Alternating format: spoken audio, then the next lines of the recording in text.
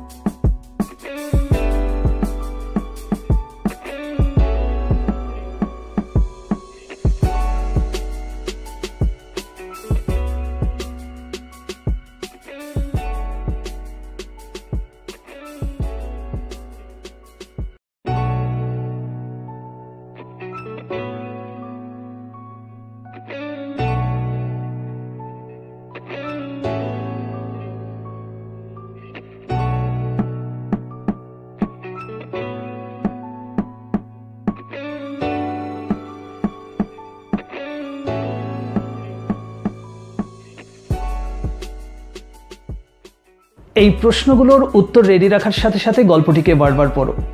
আমার পরবর্তী suggestion strong রুটসের উপর। ততক্ষণ পর্যন্ত গুড বাই টেক কেয়ার